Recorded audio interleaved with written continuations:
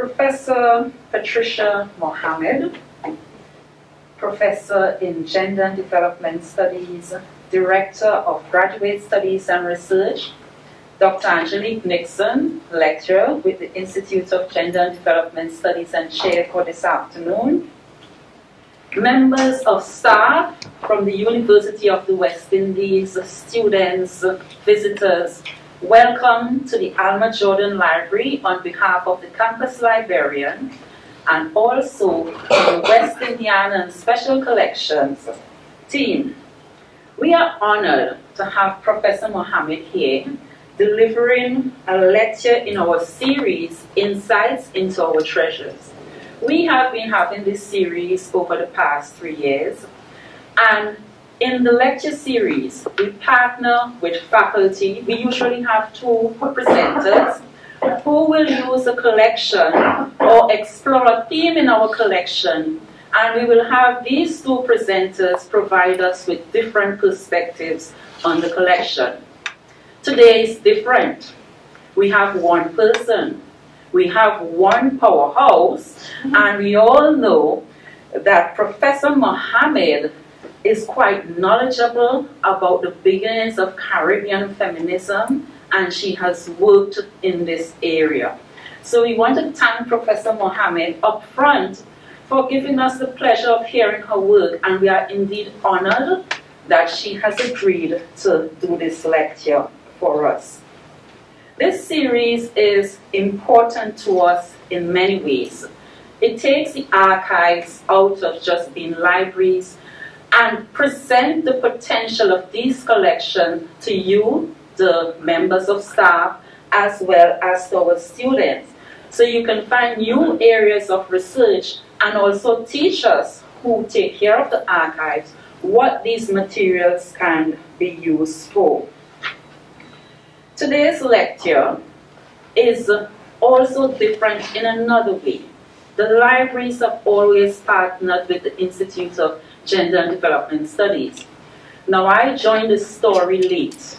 I came in I came in in 2002 and in 2009 we signed a formal agreement with the Institute of Gender Studies to create this Making of Caribbean Feminism's collection.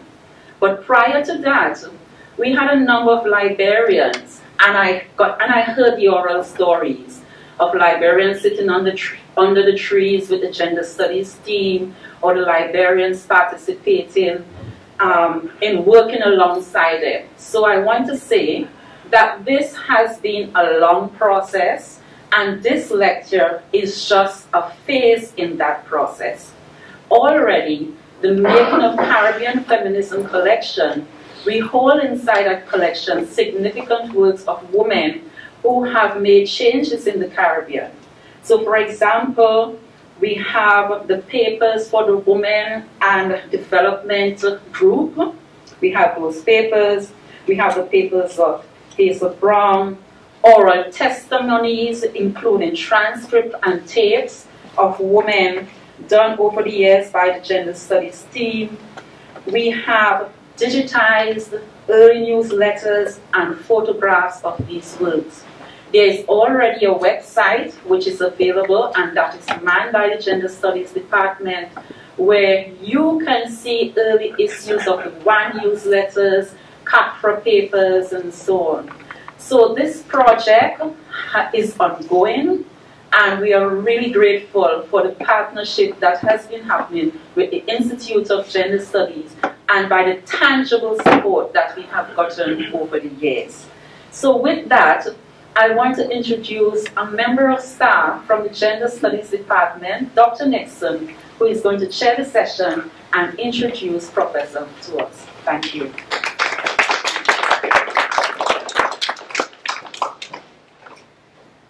Thank you so much. Professor Mohammed, it's an honor to introduce you. Um, so you have a very, very extensive powerhouse bio, so I will do a brief, a brief of your brief bio. Professor Mohammed is a professor of gender and cultural studies and director of the School for Graduate Studies and Research at UWI, St. Augustine, since 2015, a position she also held between 2007 and 2012. She's a pioneer in the development of gender studies at the tertiary level in the Anglophone Caribbean and was appointed the first head of the Institute for Gender Development Studies at the UWI Mona unit in Jamaica and served in this capacity variously between 2002 and 2015 at St. Augustine Trinidad campus. From 2004, she was Deputy Dean of Graduate Studies and Research, Faculty of Social Sciences. And she is a pioneer in the second wave feminism, founding member in 1978 of the first second wave feminist organization in Trinidad, Concerned Women for Progress. And she served as a coordinator uh, for the first Rape Crisis Center in the Anglophone Caribbean from 1985 to 1987. She's been involved in feminist activism and scholarship for over three decades, and increasingly over the last decade in the field of cultural studies. She is the architect of four national gender policies in the Caribbean, and her academic publications are extensive, namely Gender and Caribbean Development, a special issue of Feminist Review, Rethinking Caribbean Difference, Caribbean Women at the Crossroads, Gender Negotiations Among Indians in Trinidad 1917 to 1947, and Gendered Realities, Essays in Caribbean Feminist Thought and also imaging the Caribbean culture and visual translation among 100 essays, peer-reviewed, solicited essays, chapters, books, journals, magazines, and newspapers. And finally, to say that she's also the founder and executive editor of the Caribbean Review of Gender Studies, which is the first open access journal, online peer-reviewed at the UWI since public in publication since 2006. So this is very exciting, and we are in very, very good hands to hear about the making of Caribbean Feminisms, which was a project that I heard before I, have been here for five years, and I've heard long, long, long about the making of Caribbean Feminism. So it's a pleasure to introduce Prof. Mohammed, and let's start. Thank you.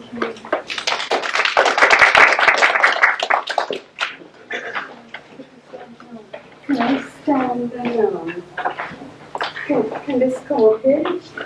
Can we move this to the this work? Yes. Okay, play with it. Alright, we need to get some, um, we need to get lights. Okay. Yeah. In the back. And now I need to be able I need to be able to reach. Yeah. Thanks. Yes. So we need this for the music function. There we go. I'm going down here. This is going up. It.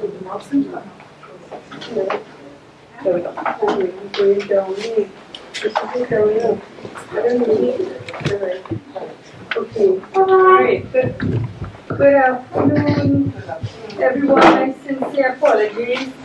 I had to run out from Tweeters to, to get here, so really apologize. Um, first of all, let me thank the uh, Renduka and Anjit for organizing and you know stimulating this. Um, Catherine Chan, who I know is always part of that organization. The Institute for Gender Development Studies generally for you know its lunchtime seminar series, which are historic now in the university. Um, and I think you know, really have been tremendously important, never stopping. The um, the library, without whom we cannot exist as a university. Um, you know, I'm always, always tremendously grateful for the library and the kind of commitment from the library. So to Lorraine Nero in particular, um, and Mr. Rachel, and, um, and for the staff of West Indiana. You know, some of us have made our living off of your, your collection. so thank you very much as we continue to build and add to them. Now, I wanted to um, thank you for explaining that I'm not going to talk about the archives as such, all of what I'm saying will lead to what the value of the archives, and I need to bring it around to that. And so I wanted to use this occasion to really um, tell my story, some of the things that I have not written sufficiently, in a kind of chronological order. And I thought um, this is going to be preserved for the Making of Feminism project anyway, so I wanted to kind of establish it um, in that record, even if I never get around to doing it. Uh, although I hope I will. And the, so I want to start with a quote. Um, has anybody read Julian Barnes' Sense of an Ending? You might have seen the film and not read it, but yes, it's absolutely amazing book. But the, I like this quote, um, history is that certainty produced at a point where the imperfections of memory meet the inadequacies of documentation. And to say that, in a sense, at this point, I'm trying to, to deal with not yet the imperfections of memory, because I haven't gone so far that I've forgotten a lot of the stuff I'm dealing with. Um, but to me, that the sense of the inadequacies of our documentation, because we don't have a way of constantly documenting our, you know, our stories, but, but leaving records. And so much of what I'm saying in this um, lecture actually can be supplemented with records that I can, that I promise to, to hand over at some point when I'm cleaning my archive. This is what some of the things I have, you know, um, albums and all sorts of things that, that will meant that will provide. So, so starting on that point, saying that I'm drawing mainly from memory, plus some of those records, and trying to recap that. And I wanted to, to and it is really very personal, if you'd forgive me, a, a personal journey. And I want to start with the entry, my entry into um, feminism as it were, beginning formally and in the academy with the Women Caribbean Project 1979 to 1982. In 1979, this, um, this colored book I'll explain what it is, the book of. Um, in 1979, I was a research research assistant, made research fellow for that year because I joined this project, invited by Professor Joycelin Massiah, then Dr. Joycelin Massiah, director of the Institute for Social and Economic Research there, to become part of this project. Two of us at St. Augustine then were actually dealing with gender in any way. Uh, Mrs. Noma Abdullah, who is now deceased, and myself, I had begun my master's in education, in MSc in sociology, doing a thesis um, on education.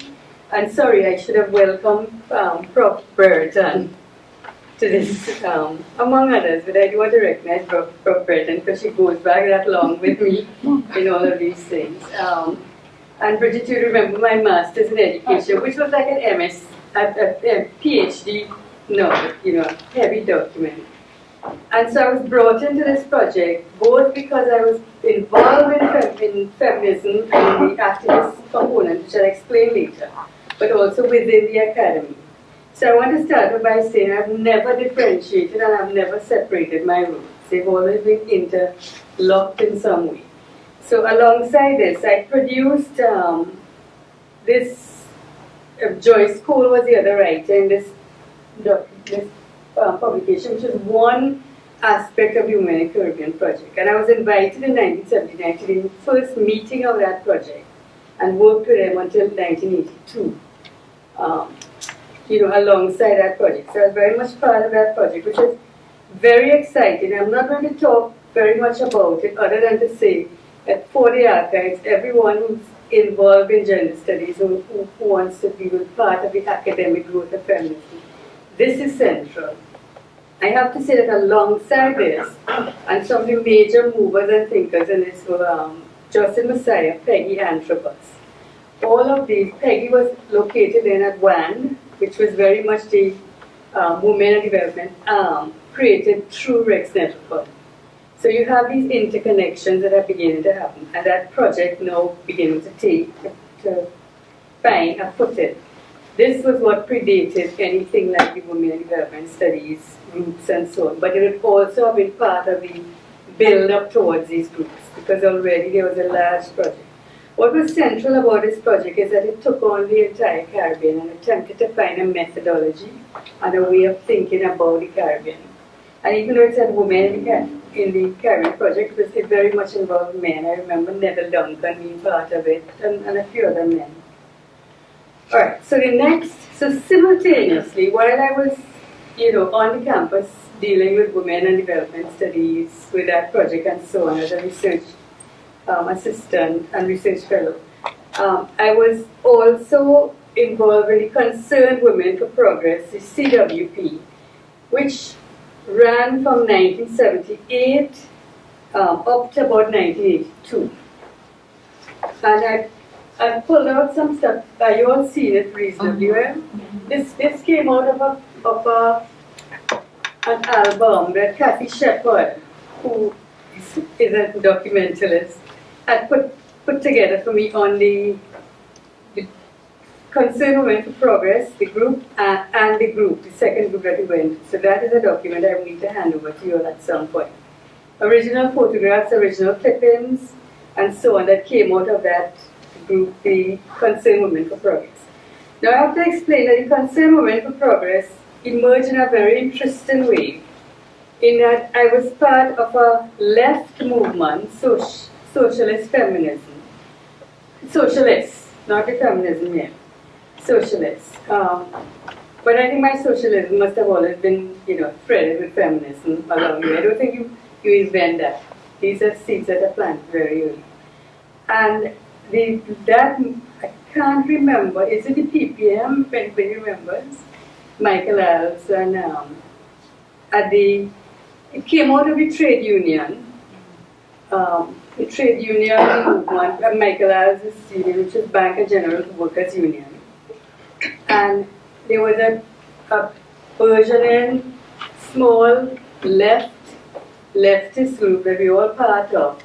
And shall I tell you who was in that group too? Wade Mark. this is not you what Wade, that's when I first met a new Wade Mark. So we were all part of this group. Um, fairly strong in the sense there's a lot of trade union support, OWT was down the road and so on. And what they felt is that they needed to have um, a women's arm of that group. So they created so out of the discussions, they created the Concern Women Progress, which myself and Pat Bainu, who was just newly landed from New York, where she's very involved with socialist groups in New York, of. So we became the, um, we but we didn't have a kind of hierarchy then.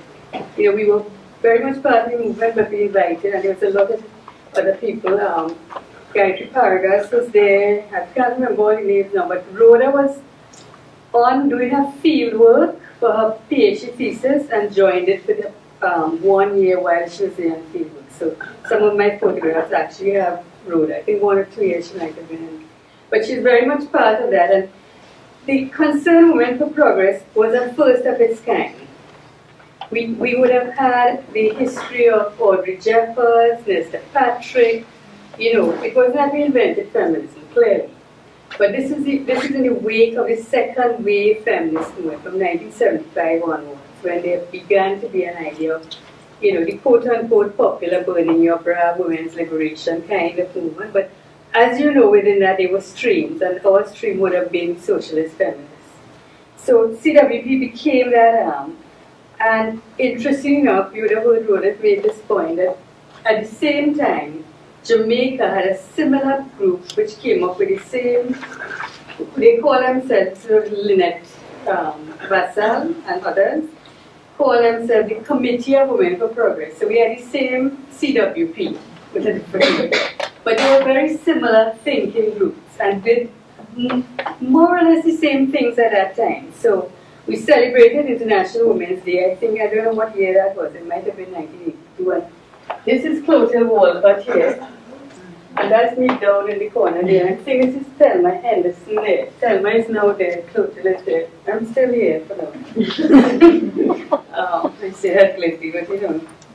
Um, and we did things, we were very, um, we were very much based on, on, on the issues of labor, very strident, very, very, in fact, I would say the group would have been very controversial at the time, the things we were doing.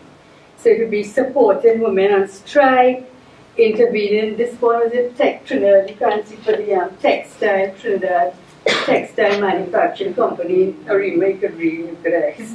And um, this was a really nice event. for the first time we picketed a beauty show. Oh. And this the, the woman in the center here is Carol Bowen. That's um from she's in Australia now, Joe. Joe Milne Um, and I can't I have other photographs but we all got together, picketed the um the beauty at the stadium. So we went there at the entrance and you know, we enjoyed it. We went and had chicken and chips after. we did at. But there was very much part of that stridency of, of say, questioning these things. There was another big event of course service coming, and all of these things used to be very well covered by newspapers. Eh? So this was because they weren't usually known. First, we were, we only wanted to start to have first panels and public forums and rape, for instance. Rape was not what you spoke about in public. Um, on the succession bill, which then was now being um, passed, um, and rallies. We, we were very much aligned with transport and industrial and the Bank and General Workers Union. So whenever we have gatherings, what we have is also the people who, men and women, who come from those um, unions. So there was a, a, a kind of broad stream, if you like. We produced a newsletter. Um, it was called Women in Struggle. Notice the, you know, the old-fashioned way. We didn't have computers and things in it. Everything was done by rolling out, um, what you call these things again? Stencils, stencils and usual and everything by hand. And we tried to sell it for 250 $2.50. I'm sure you never sold it. But anyway, you know, I think I, I used to give copies to the library. Yeah? yeah. Good, thank you. So since then, I always deposited stuff in the library. Then what happened is by 1983, when the, with the, interestingly enough, the fall, the, the moment of the Grenada Revolution was created crisis within Trinidad. Many of our people, in fact, some of us had gone and worked, not me, but others in our group had gone and worked, men had gone and worked in, um, in Grenada, you know, giving service and so on. And the Grenada Revolution, because of its politics and so on, created a serious crisis in what was left politics. And it actually led to the breakdown and the fissure, the greater, more fissures in left politics at that time. And one of the things that happened is that it, it, it did lead to the demise of um, the group we were in, the socialist group. And to some extent, within the CWP, I think there were different elements. People who were more moving towards a grassroots um, working women kind of politics, and others who felt that there was a need to, to deal with issues that were um, that we had to contend with media, like women and in um, women and consumers, women and um, you know the whole consumerism of the society, women and violence against women. One of the we actually took up, and you, have barely seen it, but that group, we took a long time to find a name. and finally, when we arrived at the name, was the group with the O being a sign of a woman under. It doesn't show, it isn't clear there. So we called ourselves the group, and in this group, another set of, um, the group splintered off into Women Working for Social Progress and um, the group. And it was a kind of, if you know your feminism, you know that this is how politics, the political um, tendencies and ideologies gear people into different areas. Sometimes they're working with similar goals, but it happens. And so the group was formed. And um, it's not going back up. How do I send back up?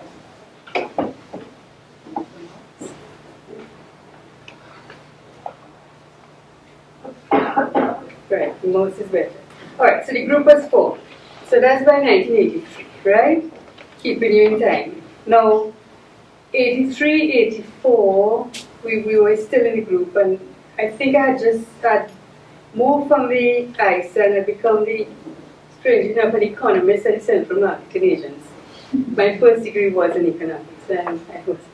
And then I had got this really nice position um, which was advertised um, globally with, at the University of Sussex to work with Kate Young in the first Women, Men and Development Study course at, at, at the Institute of Development Studies in Sussex. That was 1984. And according to my mother and father then were deeply disturbed. I left a perfectly good government job that had, you know, entitlement to car and all kind of things. I went and worked for half the amount in at the University of Sussex and undertook that. It was like for a year. It was a Commonwealth Secretariat um, funded post. And kind of, you know, there was exchange things that they do. And I went and worked on it. So you can't see it clearly, but um, that's me somewhere there. And but I was part, I was made co-director of the course by Kate Young because she felt I brought more than, um, you know, a research assistant, even though they had quite wanted a research assistant. And um, what was interesting about this is that it provided me with a really global experience because all of this day, it was three months, apart from a year of setting it up, analyzing it, you know, working, teaching in it, being part of coordinating. I was also exposed to women from all over the world, primarily even then from Africa and the East, you know, and India and so on. But if, but if you live and, and work and live among and with women for three months, you get to know them. And so I think this is a really good experience of beginning to be grounded. This is Kate here. And this is Nan Peacocke, if anybody remembers. And there were two persons from the Caribbean, Noreen Pearson. I, don't know if her name is Pearson. Yeah, I think it's Noreen Pearson from the, um, Dominica and, and Nan. And there might have been another one. So there were about two Caribbean people. So, right. So, by 1984, I was back without a job, as my parents said. And um, and the by then the Rape Crisis Society, they had been truly, what is this Christian um, organization? No, I forgot. They were the end of, Bridget, they were the end of um, that street that comes out into Wrightson Road. Young, yeah, YWCA. Yeah, Young they were. Women's Christian Association. Yeah, but not only them, there was another Christian group, forgotten the name. But the um, a lot of people, including social workers and so on, had come together to form what they call a rape crisis society. And they had a committee, and they had decided that it was time that we had a rape crisis center in Trinidad.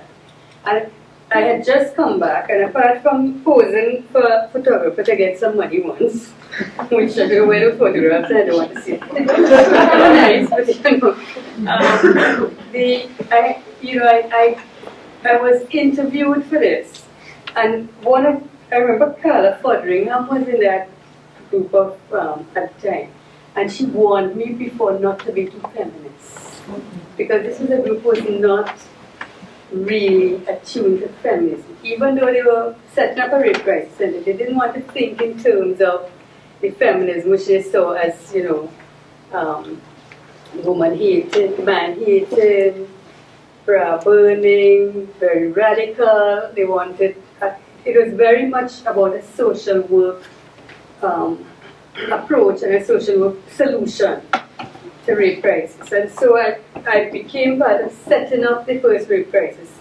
center, and it was the first one in, in the Caribbean because Peggy convened, Peggy Antrobus convened a meeting with me in Barbados, brought me over there to talk to a group of people which she brought from Jamaica and St. Lucia, wherever, because she wanted, one was trying to facilitate the growth of these things in, in other societies. So we were definitely fools.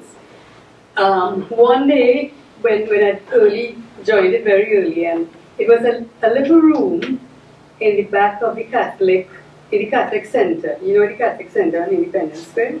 And I used to park my car in the back and it would be routinely broken into. So I was working in the midst of Port Spain at that time. And we had one room, and um, Asad Mohammed from, if anybody remembers Asad from engineering, um, came over one day with, with carpet and helped me carpeted, and you know, just got people who, who would be supported to build it. And I met Nesta Patrick one day at some event just shortly after. I said, Nesta, um, we need a, a counselor. Would you come and work with me? And Nesta was just going on retirement, I think, agreed, and Nesta joined. So Nesta and myself, and some people might remember Tina Johnson, if you come across her name, Tina was then, um, she had been a teacher, wasn't teaching again, and she joined me as also to, to work very part-time. We split up salaries and, you know, found ways to work. This was like serious activist work with low, low salaries, but we were building and in crisis center. And it meant a lot of going out, you know, doing a lot of, um, see, kind of, you know, talking, going to getting newspaper to publicize things and so on. But very useful work, and, and strangely enough, um, I, I had to do a lot of public um, sessions with, with classrooms and so on. Um, and it worked, I think by the time I left, which I won't give you reasons why I left, but by the time I left, we had already had a firm footing, and it still exists, and Price Center is still there. It has moved and it's grown. No. um, so at the time I was at W. Price Center, um, of course, at this time, the women I had come back from, from when I was on my way back from, um, no, actually, like, one of the things that, one of the things that I was supposed to do as part of my return support for the Commonwealth Fellowship to go to IDS Sussex was to replicate something like this in Trinidad and to, to do a similar kind of study course, if you like. And what I did is I wrote, um, I wrote a course, and now this is where Bridget comes in very, very centrally. Bridget, do you remember you and I going up to Jamaica to sit with Lucille Mair and the Women Development Studies group, sharing a room and senior common room too. And we, um, and I presented that proposal to them, and they accepted it. And um, so I was appointed the director of it. And that was the, it was decided that that would be the inaugural seminar of the Women Development Studies. Not so much a project, but a project to move it into um, curriculum and actual, you know, to, to, to institutionalize it. Because the group itself had been in existence since 1982 with teaching, and I'm not talking a lot about the group because I know the, the, the um, records should actually, the records you have should actually establish it. But the group had been there with many women, Margaret Thorpe, um, Merle Hodge, Bridget was very central to it. They started teaching the first introduction to women's studies courses and so on. So all of that was ongoing. So this was the kind of more centrally. Project had been funded, the Women Development Studies project had been funded by the Dutch, the, the um, Netherlands Corporation for Overseas Development. The inaugural seminar was actually funded by the Commonwealth Secretariat. So there's another source of funding. And some with Ford Foundation funding. And so this is another project. This is the, it was held from September 7th to 20th 1986. Pax guest house, it was living. You had to be there again. As you can see, it had a lot of coverage. And if you can read the participants, I'll just read some for you. And Stella Bago, who I don't even remember now, Rowida Baxter Bridget Brereton, Carolyn Cooper, Sonia Cuales, Kathleen Drayton, Elaine Fido, Diane Haler from Belize. H. Noreen John, actually that's in Noreen, from who did the study course in, in the UK. Um, and at night, Ma Maria Kreuthoff, I think she was um, Curacao. Laura Ann Monroe was a librarian at, in um, Jamaica. Nan Peacocke was also done the course. Joan Rollins, you all know Joan Rollins uh, Margaret Rose Jones, Imani Tafari Ama, Gwendolyn Williams, Rosina Wiltshire Broadbent. So those were some of the names of the first groups and the first participants of that course. And um, this is the participants. Actually, I should have read though. It's here, going to put a figure for you. But this is Kate Young again, Amrita Chhachhi from the ISS, who came down to teach um, that section in the book. And this is Lynn. Who, as you can see, was there from the very beginning. I like doing this because I like us to think about all these people we see now and realize that they were part of this early group and, you know, to make that memory. This is Lucille introducing um, Joycelin Massiah. In the thing we had, that little room on the outside became our classroom. Peggy Antrobus, and I think that looks like Marjorie. So, looks like Marjorie. Um, this is um, Christine Barrow and myself. And um, Minister in Jamaica now, Maxine? Maxine, thank you. Maxine Henry Wilson. Um, she was only participant, I think I participated, this is a bit small. Um, this is Andai, he left, and Sonia Paulets. And that strange character he left probably. And so that was, I think, was a good. Um, Bridget was there, so she might be able to talk up. It was, you know, we brought in Norman Girvan to talk on development, Ralph Henry to talk on other issues. So we, we kind of brought together all the people who were thinking through frameworks that we use for teaching. And again, one of the when we ended this, there was a lot. There was because I know how to run budgets like my household. There was money left over, and I asked Lucille and company if I could produce an uh, edited collection out of it. And got together that, spent a year and a half with Kathy Shepherd. And we found a home then. To, during the setting up of the inaugural seminar, we found a space through the kind support of Selwyn Ryan um, at the end of, at the other side of, um, that would be the so, so, southern side of ISER then. One room, I think we had two rooms, one for myself and Kathy, one for an admin assistant kind of space. And that then became the first rooms that the Institute for Gender Development Studies had as its first space to, to start a bit from. The Women Development Studies group also had space there. But out of that, we produced this first reader, Gender in Caribbean Development, which you all know. And that was the first incarnation of it, which was done in-house by me, you know, trying to deal with publishing it. So, what I did then, the, the Rape Crisis Center and I parted ways, and um, and then out of that, as a result of that, they were going to launch into the disciplinary and interdisciplinary seminars. It would be as part of the institutionalization of the Center for Gender Development Studies.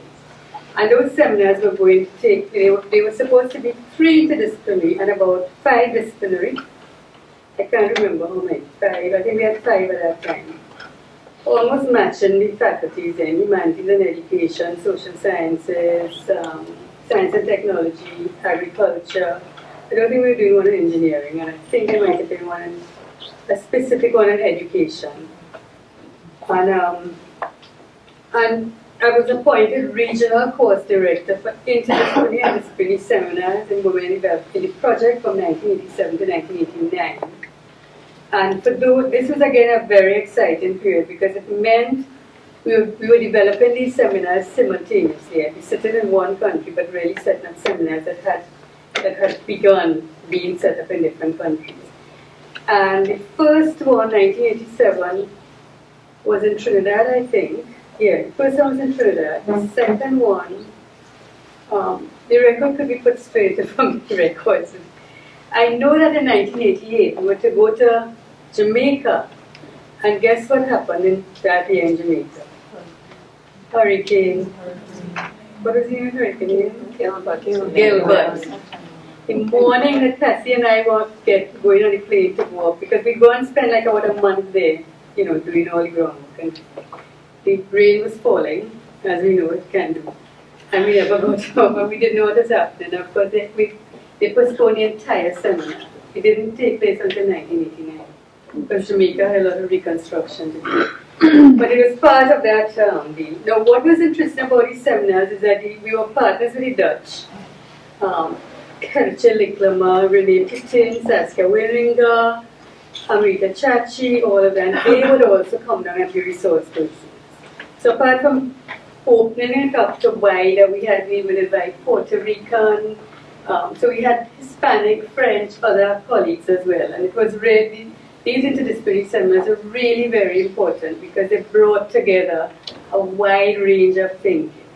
So if you think about processing all of these as director of um, regional course director, it meant that because I wasn't only involved in the logistics, I was, as a, you know, I had to be dealing with logistics of who was arriving and who was resourced. But I would discuss people's presentations with them. I would think, um, the program together with the women, the group that would, from the particular um, campus, the particular disciplinary group. So I'd very much be part of this. So, you know, it, it offered me, in particular, a really, really good sense of disciplinary, interdisciplinarity of understanding society, understanding academic, um, knowledge, because they would share knowledge. And, and I think for me in particular, I, I benefited a lot from this experience. And by 1989, I'd been offered a scholarship to the Institute of Social Studies. And it, it was offered through the Women Development project, but uh, as soon as I went up, it was shifted to a Netherlands government scholarship because they waived to give me a longer period and they had a scholarship in-house to give, I guess. And so it was shifted to that one. So I got a scholarship for four years, um, 899, 899, five years. And by 1993, when I handed in my thesis and I told her, Herschel who is now deceased, I'm really pitching that, you know, it's time I get back to the Caribbean, I have work to do there. Um, Mona had, we had begun to, the, the centers were actually instituted with um, the regional coordinator then was no longer um, Lucille, it was our first professor, who was Professor Elsa Leo-Rhynie, she'd been appointed in 1992, I think, 92 or 93. Um, Cave Hill, in fact, started their center earlier, 93. Um, Rhoda was already located here in this campus, and I knew she'd been working with the here, so I didn't apply for this post. And I applied for the Jamaica one, and, and I got that post, and so I went straight from Jamaica after stopping in to see my parents and so on and family. I went straight back to Jamaica, and that's where I stayed until 2002, working at that unit. So that's kind of the um, right. So that's that's kind of my history. In in I know it's a kind of strange place to end, but but it brings me back onto this campus when I then move back to this campus. But one of the things I want to say is um, during the period of building any one of these activities would have constantly involved public engagement. None of these were ever limited to only the academic, even while we were driving the academic.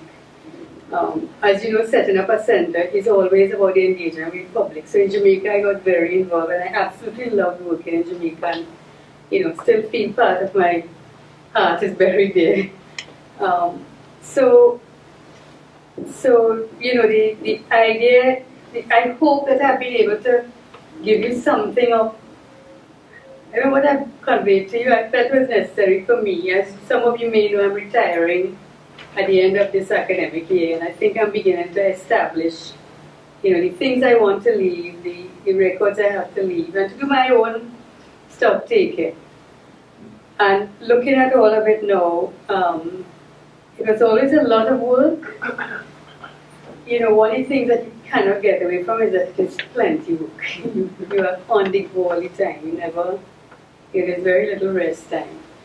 But you can see from the production that, that we've, you know, the output of, of gender studies, um, that it was productive work. And I've thoroughly enjoyed it. And I thank all of you in this room for listening to me and, you know, sharing in that history. Thank you.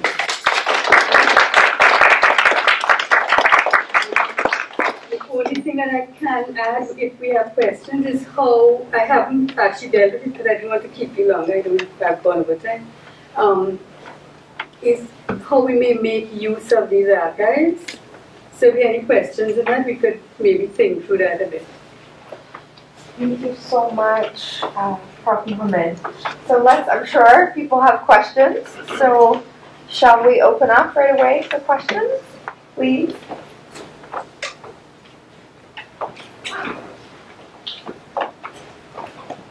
Well, I can go first and get us started. I was wondering, Prof, if you could talk a little bit about your move to visual. I was really thinking about it and you know your amazing work.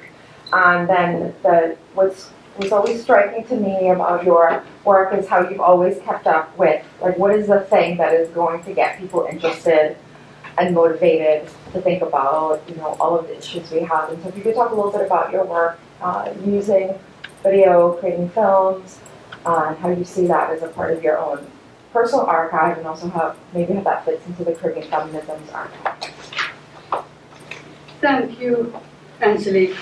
Um, I, I came back to this book because the the matter of working with visuals didn't begin, you know, in 1993 or whatever.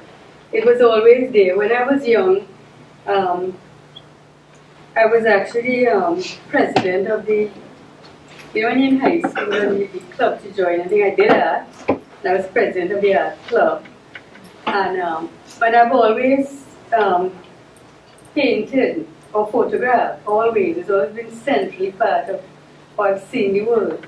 I remember things a lot more through visual. You know, people remember, people have different mnemonic devices of how to remember things, and my memory is visual.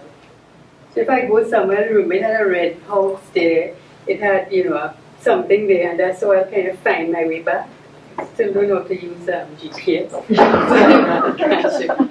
but, um, but so it was always a very visual memory. And, but so that's the, the, the capacity that I was bringing to it. But the, um, the other, the, the intellectual component of it, the, the, the epistemological component of it, is that I think I think I've always recognized that that what we, even if we speak, words themselves are about images that we build in our heads. And that gender, as a, in reconstructing knowledge in gender, um, we needed to have a vocabulary, a visual vocabulary that we spoke around as well. We need to be able to, use the visual centrally. And in Gender in Caribbean development, if you go back to the very first this publication, if you go back in, you would see that already I'd gone around to a lot of artists in Trinidad and the Caribbean and Barbados.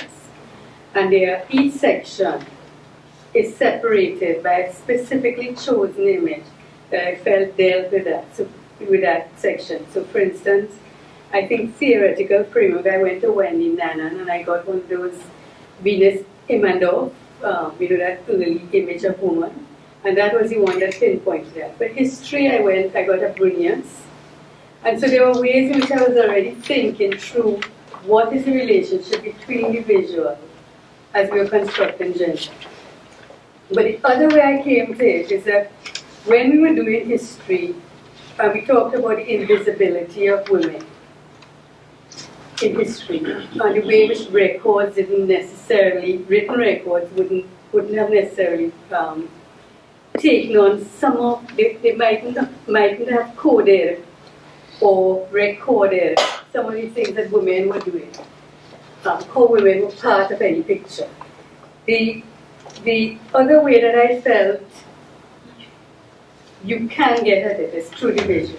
And I remember going to uh, an exhibition in the Barbados Museum and they had got a set of Brunias's and collection. And I, I really looked at them and studied them, and I realized if you look at this, whether real or imagined, and I know Brunius did a lot of imagination, it was still a sense of how do you read this image? What is it telling you about gender, or class, or race relations, and dress styles, everything. And so it was about pulling that into the way in which we spoke about the Caribbean. And I think all of that led to a sense of, of wanting to it, it came through gender, aligned with visual, but it also came, came up because there's a broader question, I think, in the Caribbean that I wanted to deal, which is the way in which we we had been configured in the vision, the way we were represented, and how we how we deconstructed those. If we, we had to have a language to deconstruct that, as well as language that would move us, the visual intelligence to move us away from that into how we how we deliberately constructed our own. And therefore, Imaging the Caribbean was part of that. So it's all part of the gender project. So if you look at the chapters of Imaging the Caribbean, not, doesn't leave out gender. There's a lot of gender. Components in it. You know, discussion of masculinity and femininity. As you as you're threading it through, there, it is very much a gender text as well. And of course, those moved into the film because there was so much data collected and so much. Again, the, the idea of if you're going to produce work that was translated at a visual level, you don't want it in another text. It's going to be buried in the text. How many people are going to buy and read Image in the Caribbean? I, you I created the films, which were um, small narratives from various sections which is why it is called a different imagination. So it is really developing the work like that. Does that answer?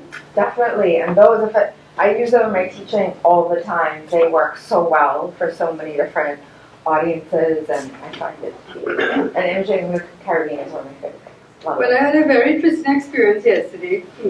I went to see Dr. Pesham Ramla with Adula, our student, because she's doing GIS mapping and we were talking about cartography and the building of cartography, and then I was telling, and he has he does a lot in cartography. Cartography itself had to move, has now moved to digital. Mm. But the chapter in the book Map in the is based on the early cartography, which I had to learn, which actually was the first set of pictures of a space. So I was telling him about it, and he just stopped me and he went in his bookshop, pulled it out, he said he uses it. yeah. so it just transcended. Yes. Of course. Um, thank you so much for your lecture. I, I mean, self-reflection is, is so important as we get older. um, when you were speaking about your work in Trinidad outside academia in the late 70s and 80s, I remember you mentioned Nesta Patrick. Um, I think we have her papers here. Yes. We, yes. Yeah, we have. Right. What I wanted to ask was, um, what were the relationships like between you and your group, young feminist, young Turks kind of thing, and the older women's groups? Um, well, Nesta, I know, was always extremely um, open in her thinking, but groups like the Coterie of Social Workers, or the Justice Group, um, the Soroptimists, those kinds of um, sort of feminist groups, but very different in their ideology and maybe their social class position yeah. from your group. How, how did that go, particularly in the late 70s and 80s? Yeah, I think, I mean, I think it's a really good question because I think it is, it is so sad that when you, when you're young, you overlook so many yeah. things and you create these artificial boundaries and barriers and and you know you think if you're inventing the world you, you, you, know, you always think you have you know, young people always think they're going to invent new, new solutions. So I think at the time we came on, we were the, we were latching on to the North American, the you know the latest thing in, in second wave feminism, and um, and so we did not have. I can't apart from the trade union, and also because we we were in the trade union space, the leftist space we tended to, to move with that group. And I don't remember any major group. There may have been and might have slipped my memory, but I do not remember making any formal contacts with them. We may have gone to occasions like International Women's Day where we try and get out people, but even at IWD, there would be a, a particular set of people, you know, the known colleagues, rather than group. How I knew Nesta was Nesta has always been open For some reason I know Nest, and I've always got close, and you know, got close to her, and and so um, so she became, she was very happy to join you. Okay. But to your question, very good question. No, and it's a good example, to, good something to draw on today. Not to ignore the other groups who you think are backward and so on.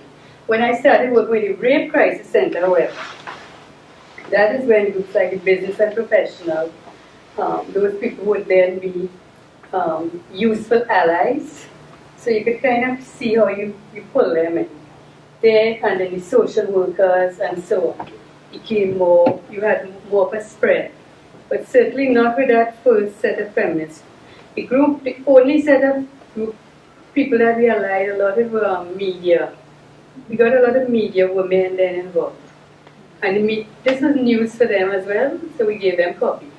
You know, so it was a fair exchange. What was the Housewives Association around at that time? They were, they would have been around, and I didn't, I, I knew about them, Right. but we didn't get involved with them at all. And I'm, I'm always sorry because I, I think we lost an opportunity to expand what was the range of the kind of feminism that was being nurtured in. And if you think about it seriously, there would have been a different, or maybe a different spin-off when the CWP ended.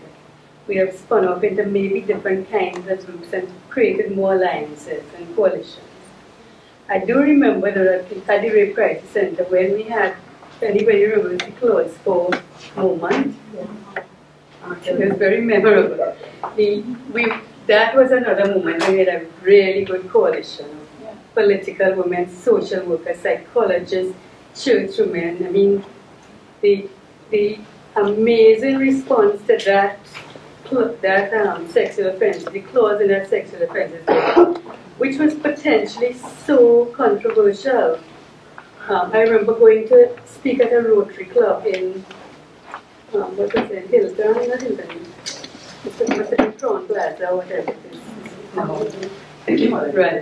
Colonnade, right. Huge um, thing only men and um, trying to convince them and getting a good audience. I mean, actually having them listen. So it was it was a moment of, of again to another moment of consciousness raising, I like to say, in um, I'm going back to around that time, and the work of the group in making public language around rape and then um, domestic violence and that. And could you reflect on that process of opening up that space? If we really public conversation, and the you could now have a Certainly. conversation. We could bridge up enough room. Um, what one interesting things is that you know I don't think I read any textbooks on violence against women. There may have been feminist texts and so on. A, a representative of the Rape Crisis Center now. Former, former representative. And but I learned on the hoof. And your question was about how that period rose, right? And it was interesting that most people would not have wanted to speak about it.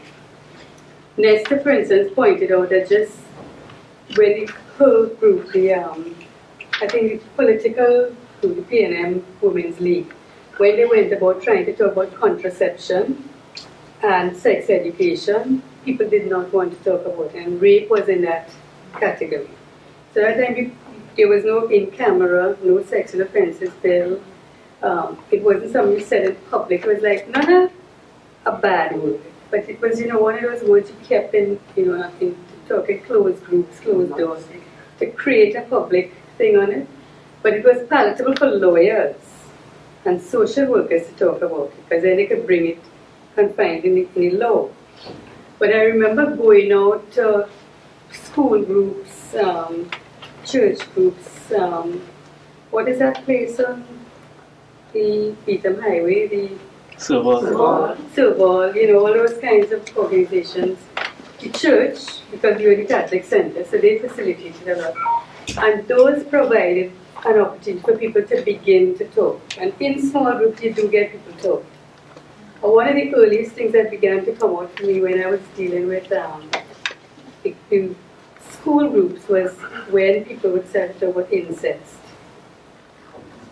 Because students would not, would, at that time we had no student counselors and no system of dealing with that. And those kinds of things began to come out. Because once you raise the issue of sexual abuse in any form, fashion, that begins to come out. So I remember always connecting rape and incest a lot because of the kind of feedback we were getting.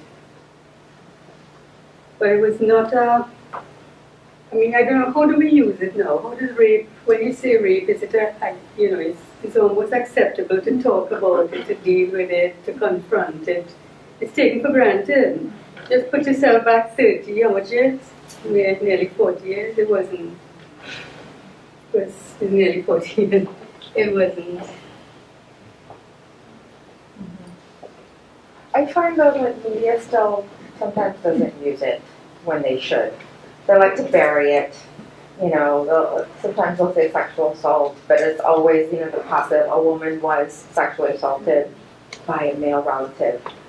But they're probably afraid of life. I know it was- I was just going to, um, to raise that same thing. I mean, I saw a couple of times, um, a man was charged for having sexual intercourse with a child. You can't have sex with No, yes, they have to say that and not rape. Um, I, They don't say rape I get or all really badly when I see. Because you it. romanticize I can't have things, sex. right? genocide. I- Yeah. I'm not, I just don't tolerate it. So that's something interesting that still, I still could see it. And it depends, of course, on who's covering it, it depends on the newspaper, it depends on the incident, but I see that, that, that scenario a lot. Other questions or reflections as we, yeah, One how many? One, only one more question. No, from me. Oh, okay, you were telling me we have to wrap it up. I was like, okay, the boss is telling me we have to wrap it up. We're new Um, Prof. Mohammed, thank you so much for this presentation um, and just for agreeing to do this with us. But my question is, I was actually reading your article like Sugar in Coffee um, yesterday for because we had to teach it for a class. Um, and I want to I want to ask, given the kind of re-emergence or resurgence of like more like um, uh, feminist movement within the region. And I know one of your arguments you said like in first and second wave feminism, like this third wave feminism, we didn't necessarily, it's more mainstream now. We don't have that kind of political and social consciousness. But given the recent more um, activities around the Life in Leggings movement, the Tambourine Army, um, you know, UP Farrell, just those kind of regional movements, where do you see feminism today in the Caribbean?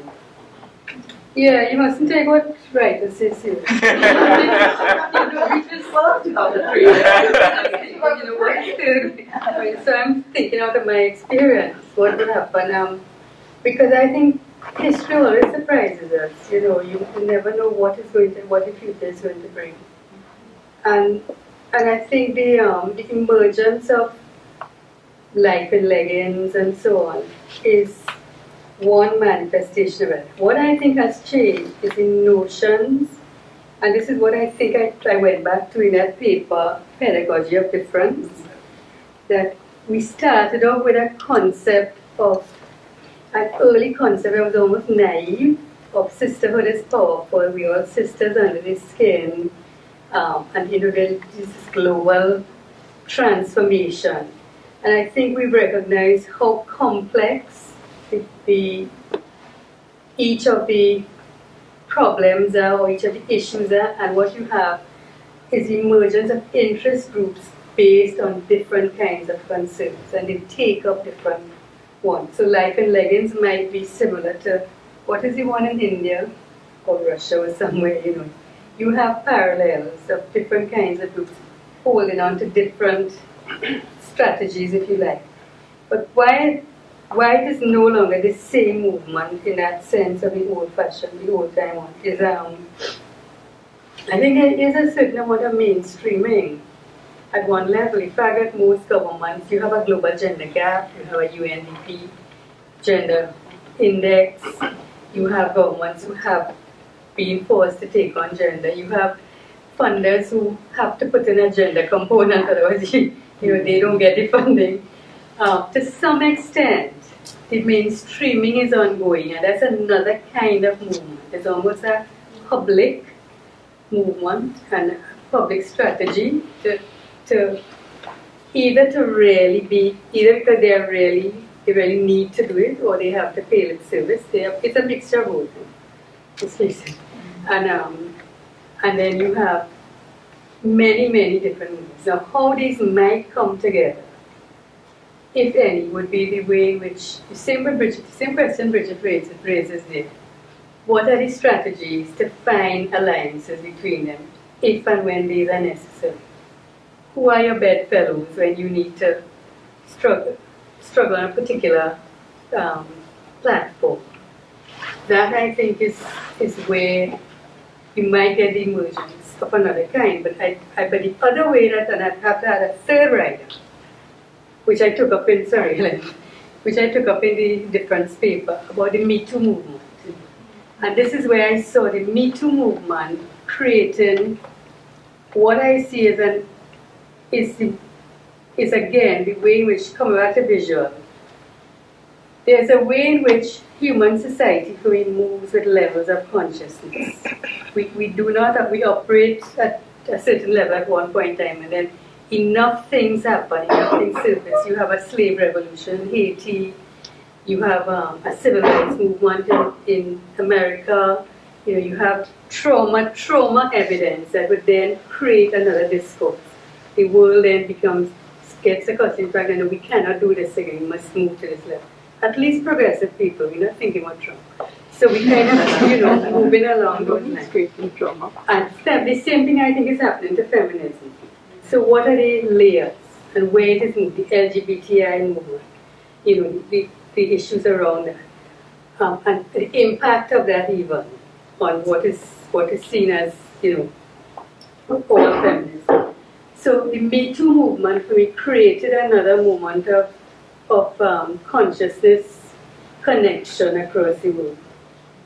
And if you look at what little events that happen in India, um, you Cave Hill, Trinidad, Carnival, and so on, you would see that it kind of filtered in into ways people began to think of, okay, how do we handle the question of sexual harassment here? We don't, we don't have a film industry, so we're not going to bring down the, the big boys in film.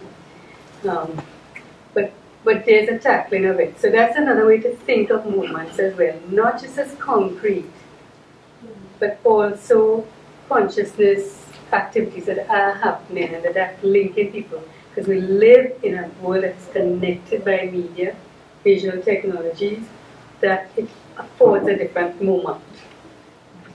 Okay, thanks. Another question? Oh, was interesting, Prof, too, that in Life in Leggings started before Me Too.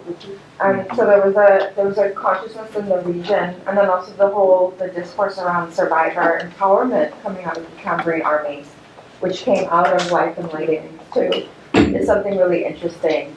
And then we had the Leave Shalom campaign here in Trinidad before that.